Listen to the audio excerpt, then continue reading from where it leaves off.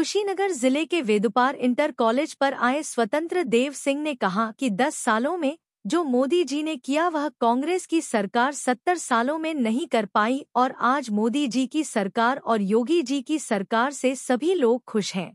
जहाँ अन्य सरकारों में महिलाएँ डरती थी, आज वही महिलाएँ सुरक्षित है। स्वतंत्रता देव सिंह। वही स्वतंत्र देव सिंह ने कहा कि जहाँ पाँच बजे बिजली कट जाती, आज वही मोदी जी और योगी जी की सरकार में कुशीनगर ज़िले में 18 घंटे बिजली रहती है। वहीं आरपीएन सिंह ने कहा कि सपा की सरकार में बेवजह आम लोगों पर लाठियाँ बरसाई जाती थी और मुकदमे दर्ज कराए जाते थे। पंखा चलता। शाम को पाँच बजे कोई निकल नहीं सकता था। मैं गारंटी से कहता मित्रों कुशीनगर से पाँच बजे नहीं बारह बजे रात को भी बेटी लखनऊ जाए अयोध्या दर्शन करते वापस आ जाए एक भी कोई छेड़ नहीं सकता बोल नहीं सकता। भले चौबीस घंटा लाइट नहीं आती थी बिजली नहीं आती थी। नहीं हमको नहीं उपलब्ध करा पाएँगे। आज योगी शासन में मित्रों थका हरा किसान घर पहुँचता था तो आठ रोटी के बजाय दो रोटी खाता था। क्योंकि उसको दिखाई नहीं देता था किसी के शकल मक्खी गिर जाएगा कि मच्छर गिरेगा। आज योगी राज में मित्रों 18 घंटे 24 घंटे 23 घंटे लाइट आती है। थका हरा किसान जब घर पहुँचता है, जब घर पहुँचता है, बिजली की रोशनी के बीच में बीबी का शकल देखकर दो रोटी के बजाय दस रोटी खा लेता है। ये स्थिति है। सत्तर के पहले देश में बम पड़ता था। आज मित्रों, गुंडे भी मरे नहीं हैं। आज डर के मारे घर में छिपे हैं। ये शूटर खत्म नहीं हुए हैं। बाईस में आप देखे थे, लोगों को लगता है सपा आ रहा है। सपा आने वाला है। लखनऊ होटल में डीएम को पीटना शुरू कर दिए थे। बातचीत करना।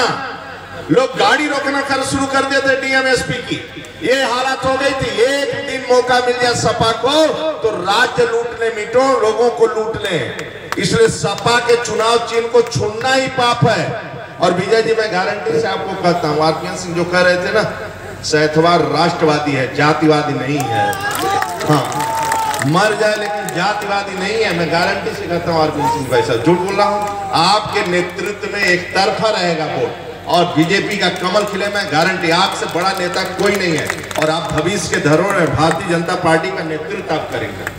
कोई सेकेंड नहीं सचिन हमेशा सेकेंड पर खेलते थे सचिन तेंदुलकर। और हमेशा देश में छाए रहे। उसी तरह आपको भी बैटिंग करना है।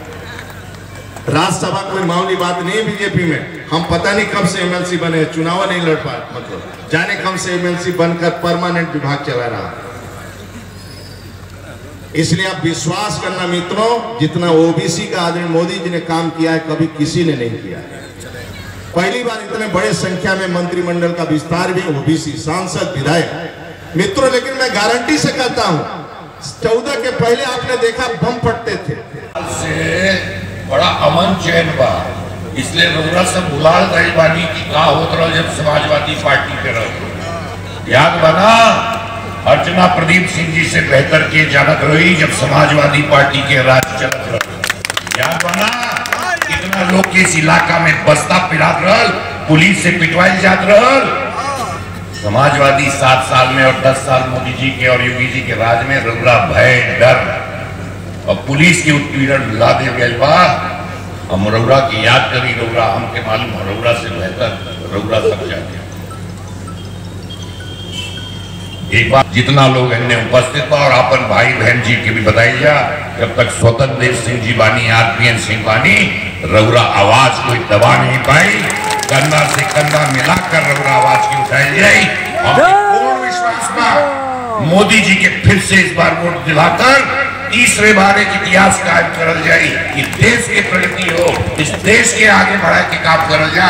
और रौरा, हम रौरा के विश्वास देता नहीं विजय दुबी और आरपीएम सिंह मिलकर विकसित इस जनपद की करल जाए बहुत बहुत धन्यवाद।